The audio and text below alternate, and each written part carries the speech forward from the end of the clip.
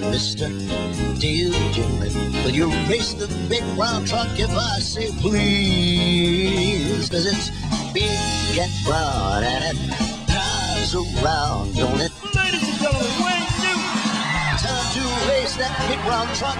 People just love that crazy truck. UPS Marketing Department, please. Dale Jarrett. Come on, Dale, race the truck.